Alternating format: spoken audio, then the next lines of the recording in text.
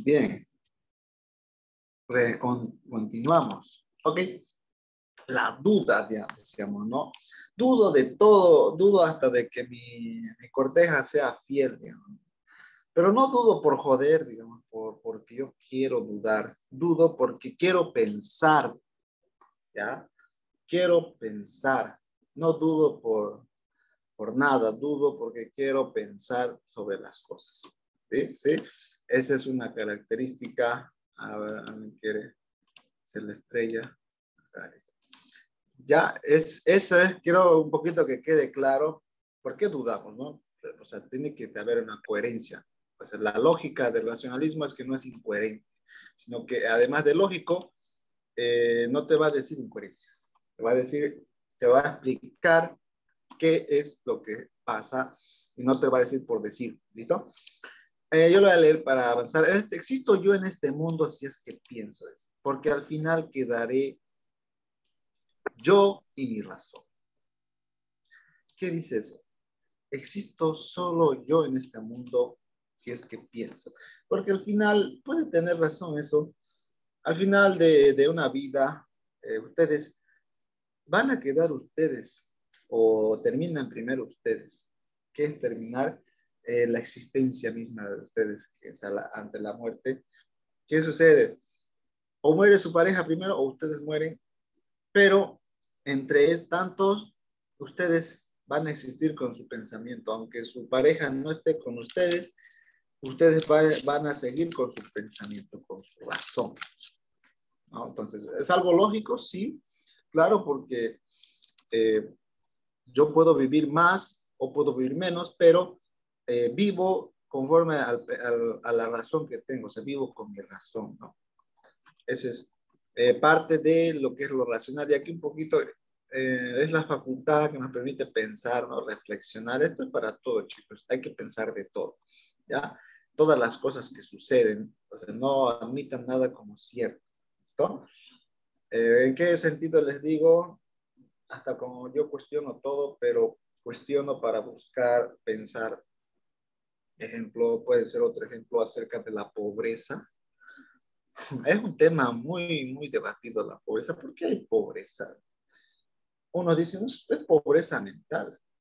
El tipo no tiene idea para hacer plata Ok, otros dicen, es pobreza material en donde el país, el país no ofrece oportunidades al sujeto para que eh, pueda llevar una vida digna. Ok, bien, pensamos sobre esos dos, esas dos cosas, porque cada uno de ellos tiene cierto grado de razón, ¿o no? Puede ser que el tipo no, no, no haya estudiado o no sea muy aplicado en lo que hace y, y por lo tanto nadie requiera sus servicios, ¿cierto? Entonces, puede ser. O también si las condiciones económicas de un país no son favorables para el sujeto o el individuo, ¿qué sucede? Ah, puede ser otro, el factor que hace, hace que la gente sea pobre, ¿no? Pero es un tema debatido, ¿ok? Pero es para pensar, ¿bien? Eh, ya los métodos ya hemos descrito de manera oral o verbal, digamos, eh, de la seguridad, ¿no? Eh, dudo de todo, yo les decía, dudo hasta de mi, de mi, pareja, si me es fiel o no, dudo de ella, dudo de él, pero no dudo pues para molestarlo, ¿no? dudo porque quiero pensar o confirmar si es fiel. ¿ah? O, encontrar la verdad. Si es fiel, encontré la verdad, de verdad es fiel. Ok, bien, creo en él o en ella. ¿Cierto? Entonces, parte de eso es encontrar también la verdad. Eh, dividir las dificultades y la complejidad, eso también lo hacemos, ¿no? Esos son los grados de conocimiento. El conocimiento básico, digamos, te es infiel un pensamiento, una razón, ok, grado básico, tiene muchas amigas o muchos amigos. Es un grado básico. O sea, eh, a la mera observación quiere deducir, eh, generalizar que de verdad es infiel, dicen, entonces, no es un grado básico, eh, pero ya el, racionalista divide esas, su capacidad de pensamiento, ¿listo? Y aquí un poquito componer ordenadamente de lo simple a lo más complejo. este se va formando junto con su pensamiento, con su grado de, pensamiento de razón, de razón, ¿ya? ¿Qué dice? A ver, eh, si hay pobreza, hay pobreza porque eh, la gente no estudió. Bien, ok, es un grado de pobreza. Otro grado de pobreza, más hijos. Eh, y más hijos, ¿qué significa mayores gastos o costos, lo que ustedes quieran llamarle? Y mayores gastos o costos mayor pobreza o carencia de, vamos a decirle, de, de, de nivel de vida, le llaman. No, nivel de vida es como el sujeto se sostiene, o sea, tiene casa, tiene alimento, tiene, tiene dónde, dónde vivir, ah, no, tiene cómo para alimentarse, ok. ¿Bien? Eso va de lo más complejo en términos de pobreza o también vamos a hablar más tarde de riqueza. ¿no? Realizar enumeraciones integrales y sin omitir nada. Este es ya un poco analizar todas las variables, todas las cosas que suceden, ¿no? Y ponerlas en, en las matemáticas. Eh, por ejemplo, la variable que nos decía Marilyn era sobre cómo puedo, cuál es la probabilidad de que yo conquiste su corazón de ella. ¿no? Ok, esa variable puede ser medible, de acuerdo, ustedes saben, a la acción, ¿no? Mientras mayor acción, realice, es más probable que, que suceda que sí logre conquistarlo. O sea, es obvio. Pero ya no es muy teórico, sino algo más práctico porque aplica la matemática. En la estadística, es, en matemática son fórmulas y estadísticas es un conteo. Es un conteo nada más, para que se den cuenta. Bien, eh, aquí está un poquito desglosado, ustedes se divierten con eso, ¿no? Es lo que hemos explicado. Eh, lo explique el método cartesiano, bueno, también ya lo hemos explicado con el ejemplo de la oferta y la de, eh, perdón, era la demanda y el precio de la, de la demanda, el precio del producto, ¿no? Eso ya lo hemos visto. Ok, ese es lo que él estableció, ¿no? Que lo verdadero puede someterse a, a prueba a través de, de la razón, que es, pues, de la matemática, ¿verdad? Incluso ustedes van a ver que todo en la, en la, en la salud es matemáticas. ¿Por qué? ¿Quién sabe cómo dicen que tenemos como dicen, miles de millones de neuronas, miles de millones de glóbulos rojos, blancos, eh, articulaciones? ¿Quién sabe? ¿Cómo lo habrán dicho? ¿Habrán descontado cada vena del cuerpo? Puede ser, pero tal vez han inducido que eh, entre cada parte del cuerpo hay articulaciones, hay sangre, hay hueso, una porción de sangre hueso. Entonces, yo tomo una, de una mano toda la sangre y veo cuánto, puedo decir, cuánto tiene esta porción de, de mano, ¿no?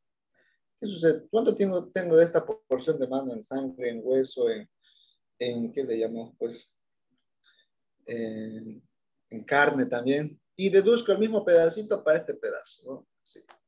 Y otro pedazo acá, digamos. Entonces, deduzco, deduzco y voy deduciendo todo el cuerpo y la masa del cuerpo eh, conforme a, a ese volumen o ese peso y deduzco que tantos tantas articulaciones o kilómetros de articulaciones. Entonces, hay en un cuerpo. ¿Listo? Puede ser, eso es lo que yo eh, con el razonamiento estoy deduciendo, estoy, eh, va de lo, de lo específico a lo general. Acuérdense, en base a esas variables pequeñas, puedo decir que hay tantas articulaciones, tanta masa corpórea, le dicen, o sea, eso le llaman kilos. En cuántos kilos está distribuido el cuerpo en, grasa, en carne, en carne, en músculo o podemos en huesos, cuánta masa ósea, ¿no? Y ahí, y ahí sacaron las, las medidas que son la osteoporosis. La osteoporosis es la carencia de masa ósea, de, de, los huesos, la carencia de, del calcio en los huesos. ¿Qué quiere decir? Todos tenemos nivel de calcio de 70%. Quizás, ¿no? Eso es en el cuerpo. Eh, hay otros que van perdiendo, van perdiendo. ¿Qué sucedió? Eh, por lógica matemática, eh, carencia de, de, calcio, masa, masa ósea, ¿qué sucede? Está padeciendo una enfermedad, ¿no? Entonces, eso podemos decir que hemos deducido una enfermedad. Hemos dicho, hay estas enfermedades en base a las matemáticas, ¿no? Claro, entonces eso es evidente. Por eso se basa en la intuición. Yo intuyo, o sea, yo pienso que por, o sea, por, por lo que se ve, puedo deducir si mi masa muscular está aumentando o está disminuyendo ¿no? Ok, para ver si uno es fuerte o, o es débil. Y aquí hay un poquito, ya un resumen de lo que hemos hablado, la existencia de Dios, del mundo, ¿no? Duda de todo. Pero duda no por, no por nada, sino por pensar. Al, al, racionalista le gusta pensar. ¿Quiénes quieren ser acá mi estrella? Ya. ¿Cuáles son los principios? Bien, eh, un juicio formulado y bien fundado. Ok, ese es algo eh, lógico porque eh, no puedo hacer juicios que no tengan sentido. ¿ya? Porque no sirve la mente para, para pensar, es como... Hay un pensamiento que no me gusta de, de las personas que tienen la tendencia a pensar que todos me van a joder, me van a molestar, me van a perjudicar. No creo eso. No creo porque la gente está para ayudar. ¿Okay? Yo mismo, lo mismo le digo a un profesor, digamos que es difícil. No creo que el profesor esté para molestar, no creo. El que piense que, que es por molestarlo, digamos, bien, bien que estás aquí. ¿Qué, ¿Qué, dice? Ese es un pensamiento bastante superficial, yo digo. Es un nivel, pensamiento básico. Pensar que el profesor solo es para joder, para molestar. No, no creo eso. Eh, si pensamos cuál es la intención del individuo, o sea, un pensamiento un poquito más arriba, ¿qué, qué piensa el, del sujeto? ¿Qué quiere de mí? ¿Qué es lo que quiere de, de, del curso, de, de, lo que yo estoy acá, digamos? ¿Qué es lo que quiere?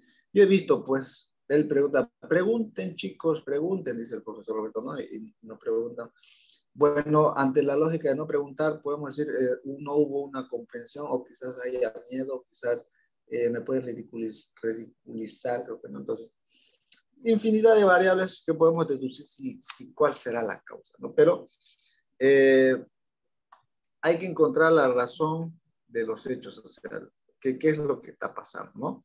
En base a, vamos a decir, cualquier cosa que ustedes están pasando bueno, ahora están pasando muchas personas bastantes problemas económicos de salud y vamos a decir, ¿por qué entonces? Eso, esto puede ser una buena pregunta. ¿Por qué las personas eh, no logran, digamos, estudiar, hacer las cosas, asistir a clases, preguntarme por qué? yo podemos hallar la raíz, porque el profesor siempre pregunta, no sé por qué siempre se inscriben y después retiran, me dice a mí, al final, ¿por qué? Puede ser intuyendo, o sea, pensando, eh, el individuo quizás, eh, como el hombre es irresponsable siempre en algún sentido, en alguna cosa de su vida, siempre el hombre es irresponsable, parte de su debilidad es esa. Como el hombre es irresponsable en, en su salud, su salud va a afectar a su economía, a su estudio, a su familia, va a afectar, si quieren ustedes, a sus hijos, a todos afecta. Ahí ese es un pensamiento más elevado que puede explicar por qué las personas, por qué las personas, ustedes pueden explicar, por qué las personas no logran o tienen muchos problemas. ¿Por qué? ¿Por qué no están? ¿Por qué no cumplen? Bueno, esa es la razón, porque la irresponsabilidad de un familiar afecta a toda la familia. Entonces es algo entendible. Y entonces yo no tengo por qué enojarme. El profesor se enoja por qué no, no estudian. Yo no tengo por qué enojarme. No, no me tendría que enojar. Porque sé que el hombre tiene su debilidad en algún grado y es inconsciente en algún sentido. No hace lo que debe hacer. Entonces eso le afecta y eso afecta a todas las cosas, ¿no? Correcto. Eso podemos deducir como eh, los atributos, eh, las propiedades esenciales. Ahí está, eso es lo que Dios les decía, el, eh, referido a lo que ustedes piensen y puede extender ese pensamiento, digamos, si me afecta que yo no cuide mi salud, va a afectar, no, no solo me va a afectar a mí, me va a afectar a toda mi familia. incluso me va a afectar más allá de mi familia, ¿no? Porque eso es algo más profundo, ¿no? Y tiene que ver con la naturaleza, los divinos, las representaciones sensibles. Ok, eso podríamos decirle, ¿qué tan consciente soy de la realidad? ¿Qué tan consciente soy de, de, de, de las acciones que realizo? No me parece coherente criticar al hombre por, o sea, por, por, su, por, por su debilidad. Sabemos que el hombre tiene debilidades, todos. Y por su debilidad el hombre es criticado, es injuriado, es insultado, es, es hasta le, es golpeado, maltratado, eh, infamado, todo lo que ustedes quieran, por sus debilidades. ¿Sí? Ok. E incluso podríamos decir que yo no tengo por qué enojarme con, con nadie. O sea, yo, yo vivo feliz. Porque sé la debilidad de los, de los hombres, ¿no? Solo hay que encontrarlas para no enojarse, porque ustedes se enojan de, de nada. De... Yo no sabía enojar de nada, pero pensé, ah, ya, pensemos un poco eso. Porque no creo que enojarse valga a, vaya a resolver algún problema, ¿no? ¿Qué haces? Eso sí va a resolver el problema, ¿ok? O cualquier cosa. Consecuencias filosóficas, bien, esto puso en evidencia, se puso más énfasis en la evidencia, analiza los hechos, bien, deduce, o sea, va a decir, ah, puede ser esto, puede ser lo otro, ¿no? Y comprueba si es eso o no. Ahí está. Bien bonito esa parte. Ya la conclusión es igual a, a las, a, a, las consecuencias que hizo. Y el empirismo, uff, nos falta todavía, ¿no? Bien, el empirismo, ya hemos visto este tema en la primera unidad que era el, la, los problemas del conocimiento, que era el, el, conocimiento que cree en su experiencia, o sea, ¿ya? ya no el que se basa en lo que experimenta, sino en lo que, en lo que piensa de la experiencia. ¿sí? Y, a ver, resumiendo con mi chanchullo, a ver, conocimiento, bien. En esta parte, el empirismo también tiene algo racional.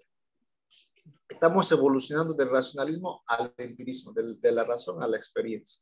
Estamos eh, evolucionando. Esto es una evolución por el renacimiento otra vez están haciendo. Entonces, igualito el, el, pensamiento crece como una persona, se va desarrollando y evoluciona a un grado más alto todavía. Es igualito el pensamiento, ¿no? Para que quede claro.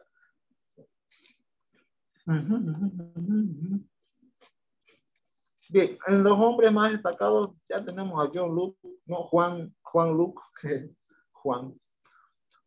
Bien, eh, lo, lo, lo, que se basaba más eh, John Luke, eh, su conocimiento puramente en los hechos. O sea, no, no pienso más allá de lo que veo. Esa es la afirmación un poco más básica, pero tiene su, su poder en, cuando nos explica él que la base del conocimiento está en los hechos, en las condiciones, porque de esto un poquito va más allá como el materialista, dice. Les muestro el ejemplo del material que es un cargador, ¿no? Pero él no va a pensar así, va a pensar, yo puedo decir que la gente es pobre de acuerdo a cómo lo veo, cómo es.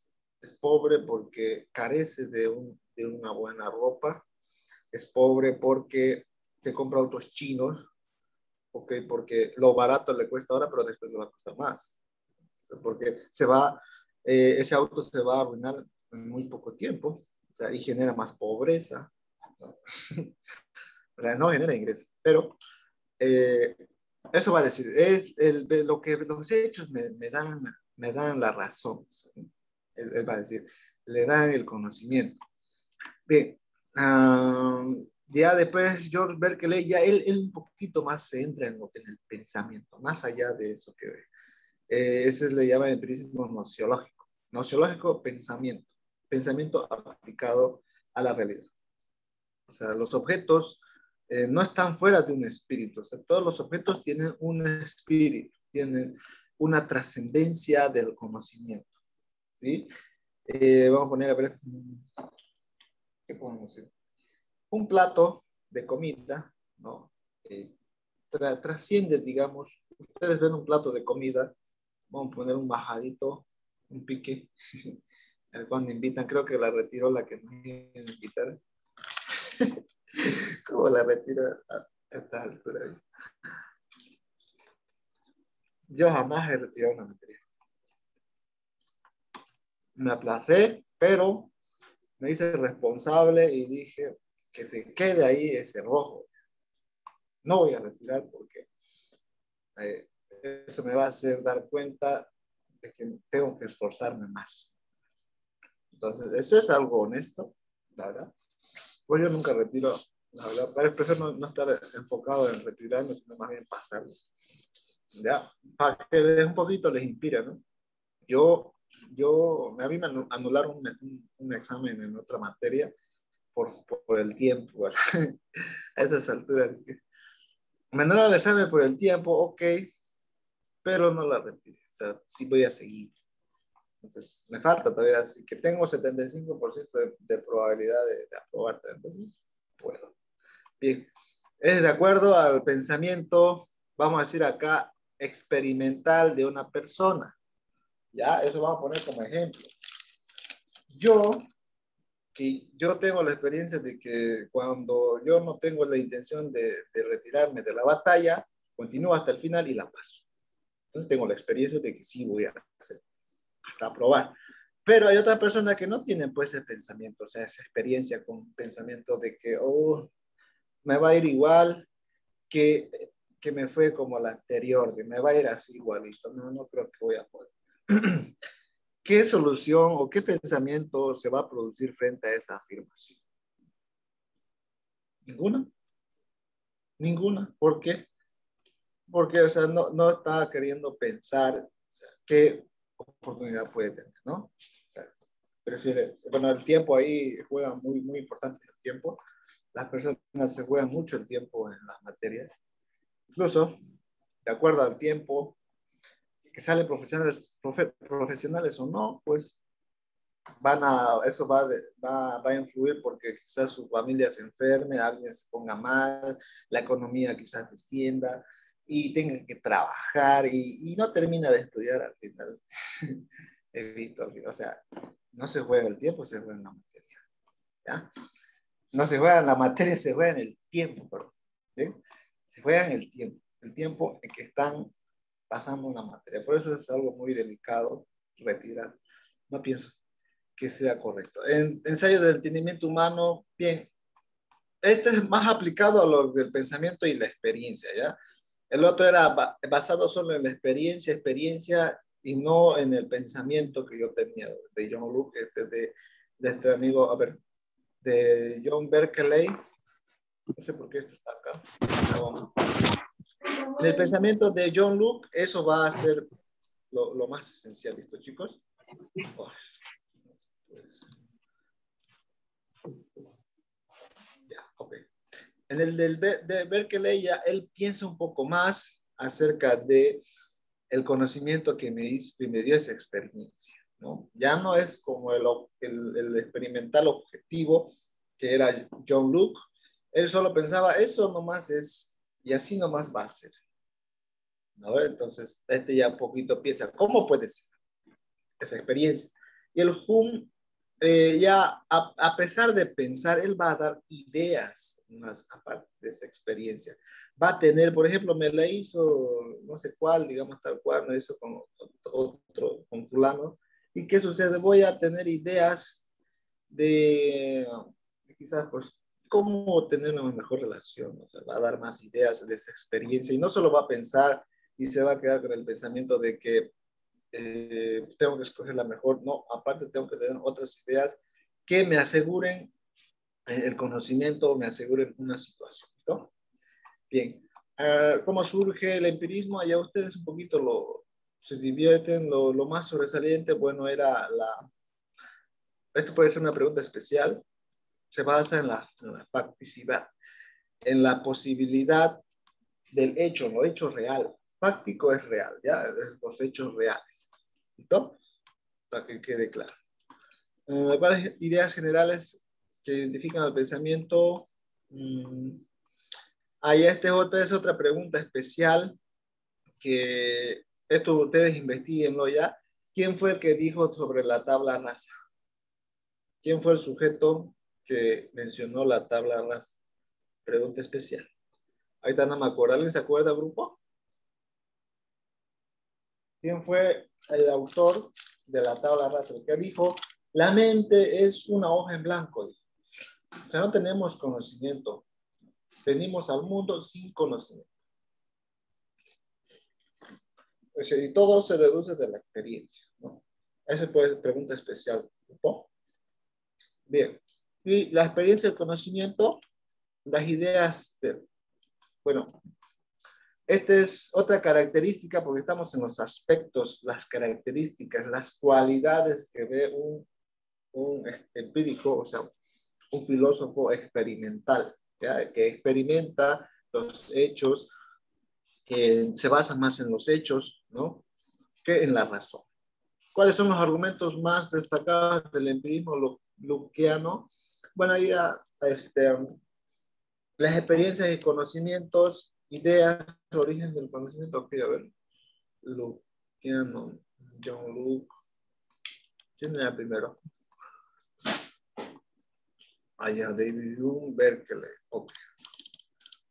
Sí, John Luke eh, proponía, pero era, yo les decía que era un pensamiento más básico, eh, porque es más experimental, ¿no? Eh, ya solo la, experiencia nomás me brinda conocimiento, ¿sí? Eso es lo que él proponía, a ver dónde estaba, acá está, eh, de, la, de la experiencia nomás genero conocimiento, ¿no? Y él proponía la sustancia, esto puede ser también pregunta especial, chicos, ¿ya? Mucho cuidado. Okay. Experiencia, percepción, no implica percepción. Bien.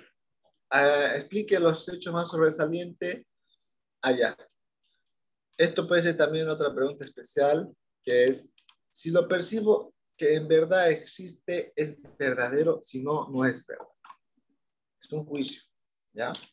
Ya vamos a entrar en los juicios, es, o sea, pura, pura, pura, puras palabras, en realidad, eh, sobre, sobre la realidad. Ya no nos definimos por los hechos, sino por la realidad. Ya se está, nos estamos acercando a lo que es el idealismo. Por eso es que cada autor va a ir eh, en grado alguno, va a irse más al idealismo.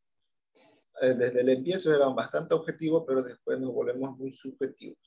¿sí? Por eso ya están diciendo, si lo percibo es que en verdad existe, si no, no es verdad. ¿Qué significa eso? Si tuve la experiencia, ¿no? De algo, eso pues porque es verdad. Si no tuve esa experiencia, no existe para mí es algo muy radical. Eh, si yo gané plata siempre así como yo gano, esa es la manera de ganar plata. No cambia el negocio, ¿no? Hay unos padres que son así. Se acostumbran a la forma de ganar dinero y todos no creen en otra manera de ganar dinero. Entonces, es bastante empirista, o sea, experimental. No se atreve a experimentar lo otro, digamos, no, no piensa en experimentar otras cosas. ¿Sí? Porque se basa en esta variable, que es la acción. La acción que toman las condiciones sobre mí, sobre mis sentidos, sobre las sensaciones, que eso, o sobre mis sentimientos, eso es lo que me da el conocimiento, el origen de mis conocimientos. ¿no? La realidad exterior es lo que me dan las ideas. Y por eso es algo muy básico, pero él comenzó el empirismo. Por eso es el padre del empirismo. Y de ahí evolucionó con los demás autores. ¿Cuáles son los principios o máximas de las categorías del pensamiento de Berkeley? Este ya es un poquito más al pensamiento, al idealismo. Eh, los objetos, los objetos, todos los objetos tienen un espíritu. Porque un objeto fue construido por un espíritu. Es raro eso. Porque un objeto fue construido por un espíritu el espíritu es la voluntad del hombre. ¿Ya? Es la voluntad del hombre. lo, toman así, o sea, yo creé, digamos, si yo veo una de estas galletitas, me encantan a mí, la verdad. Yo creé estas galletas, yo veo estas galletas, estas galletas tienen un espíritu que las hizo. Las hizo un espíritu, o sea, un hombre. La voluntad de un hombre lo hizo. Por eso lo tengo acá. Es lo que nos dice él, por eso se va afectando un poco más a lo, a lo metafísico, dice, ¿no? Que es el conocimiento más allá de, de lo que se puede ver. ¿listo? Y uh, ve ahí está, ¿no? El, la, más allá de, la, de, lo, de, lo, físico, metafísico. Aquí está la mi chanchullo, pero ya les deletré de, los demás. que es el, las características, ven, aquí están los tres reyes magos, Luke, Berkeley y Hume, ¿no? Hume tiene una característica más, más profunda todavía, chicos. Incluso a mí me hace pensar de verdad me hace doler la cabeza cómo él lo explica. Uh, Hume no cree que son experiencias. no cree que son experiencias. Esta realidad que yo veo no es experiencia, o sea, es impresión. ¿Ya? Es una impresión, es una imagen. Este cuerpo carnal, terrenal, como le llaman los religiosos eh, mundanos, es una impresión. Es una impresión de, mi, de, de mis ideas. El cuerpo es una idea y yo le doy la impresión de un cuerpo. ¿Qué quiere decir eso? Que si yo no tengo esa impresión, esa imagen del cuerpo, no puedo imaginar un cuerpo. No puedo saber si de verdad hay un cuerpo. ¿no? Entonces, para que entendamos, eso es lo que dice Hume, o sea, porque es un poco más complejo. Eh, son bastante humanistas, la verdad, todos. Por eso son sus características. ¿no? Y ya entramos al idealismo. Bueno, a ver si se nos corta, creo que no llegaremos, chicos, o no sé, a ver. Demos un minuto. Si nos vemos mañana, ¿no, chicos? ¿Vamos? ¿O lo acabamos hoy? Vamos. Mañana, porfa. Mucho dolor. ¿No? ¿Quiénes existen este, acá? ¿Te dejaron de existir disculpe, cinco? Disculpe, eh, ¿va a pasar lo que, el avance hasta el momento que hicimos al grupo? Sí, si acabamos hoy, lo mando hoy. Si acabamos mañana, lo mando. La condición es acabar y restar. Si no, Ah, si no ya, ya. terminamos, no, si no terminamos, no envío nada. A ustedes. Era para ir estudiando, digamos, hasta donde estamos haciéndolo ahora. Pero bueno, Ah, por eso está me bien. pregunto. Si, si acabamos hoy, hoy se los envío, pero si no terminamos ni hoy ni mañana, o sea, no terminamos hoy, mañana, mañana se los envío. Pues no puedo enviárselos si no terminamos. Mañana a las 7 sería, ¿no? Bueno, tendrían que estar por lo menos, porque no me gusta poco, poco público. De hecho, yo renuncié No a una licenciatura. Yo renuncié a una licenciatura porque no existían. Perdón, cinco. perdón, querida.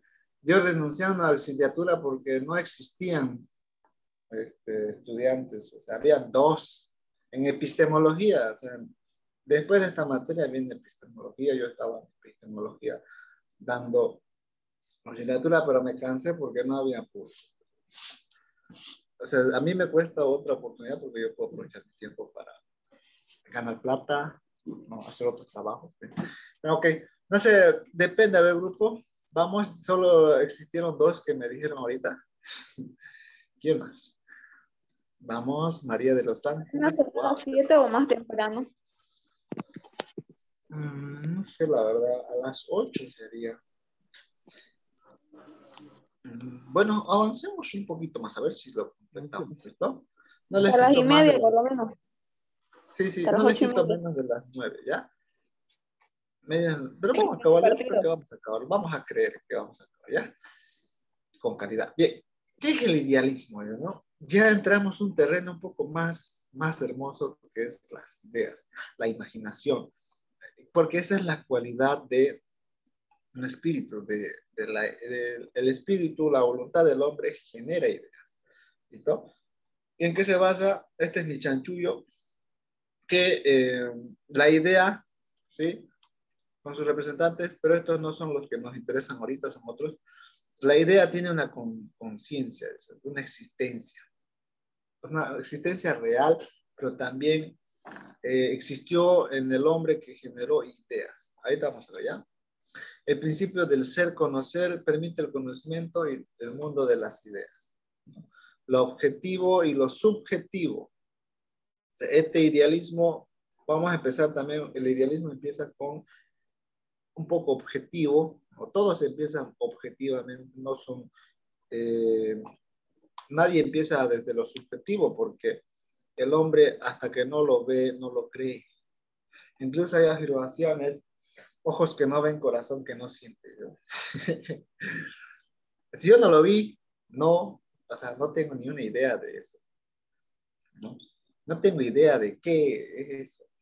Sí, sí, me, esa es, una, de las eh, bases, igual vamos a decir ya, del idealismo. El idealismo eh, esta es una evolución del racionalismo. Ya no solo pensamos, generamos ideas, o sea, generamos más, más pensamiento. O sea, de, esa, eso va un poco más complejo. Eh, aquí ya se va a introducir con la conciencia. Ya no le va a llamar, digamos, ya no es metafísico, es conciencia. Es algo, es algo del hombre propio, o sea, eh, ¿A qué le llamas eh, metafísica? ¿A qué le llamas conocimiento más allá de la física? Si, más allá de lo que puedes ver, si, si solo ves al hombre, el hombre no más genera ideas. ¿Dónde más ves? No ves nada más. Entonces eso nos dice que lo primario es la conciencia. Si el hombre es consciente de, vamos a decir, de lo que le pasa, si el hombre es pobre, es consciente y tiene ideas de lo que le, lo que le hace pobre, entonces puede cambiar. Pero si no tiene ni idea, de, lo que pueda hacer, entonces, ¿cómo va a cambiar? Va a seguir así, ¿verdad? Ah, eso y lo secundario es la materia, ya no dicen, no, no, la materia, eh, después viene la materia, primero la idea. ¿sí? Lo, lo ideal es lo, es lo superior, y nos dice con Emmanuel Kant y Hegel, ¿ya? Eh, ya en los idealismos, eh, aquí hay una, una comparación, ¿no? Para que ustedes se den cuenta de George Hegel y Kant, ¿no? Eh, los dos tienen el mismo, o sea, la misma figura de que la, el conocimiento son solo ideas, pero la, la diferencia está en que uno trasciende, el otro no trasciende. O sea, una idea, por ejemplo, eh, las ideas como son objetivas también subjetivas, van a haber idealismo objetivo y subjetivo. En el subjetivo está Hegel y en el objetivo está este, Emmanuel Kant. Ustedes ya, ya se acuerdan, ¿no? Hemos visto el subjetivo, objetivo, entonces eso es. Eh, pero sobre las ideas, ¿ya? Eh, a ver, ahorita vamos a ver un poquito. El criticismo kantiano, aquí está un poquito, solo he puesto de Kant, eh, para que lo entiendan, cómo plantea él, ¿no? ¿Qué puedo conocer? ¿Qué debo hacer? ¿Qué, qué espero de eso que conozco? Porque si lo conocí, tengo una idea de qué es eso. Si no lo conocí, pues no tengo ni idea de quién es. O sea, me dicen una chica se muere por vos, ok, no la conozco, o sea, no tengo ni idea de quién es, pues, entonces, ok, si no la veo, pues no tengo ideas, ni, ni, sé de qué es lo que se trata, ¿verdad? Para eh, yo pueda generar unas ideas que, esta puede ser pregunta eh, de oro, vamos a decir, esta va a ser un poco más que especial de oro, la estética analítica y dialéctica. ¿Sí? Esto analícenlo bien, su pregunta de oro, quizás la, más valiosa. ¿no? Ustedes saben, niños. Ok, la ética, eh, ya un poquito más se va a centrar en lo que las ideas que son aplicables y las que no son aplicables en la ética, o sea, lo bueno y lo malo. Vamos a hacer una guerra, vamos a decir, a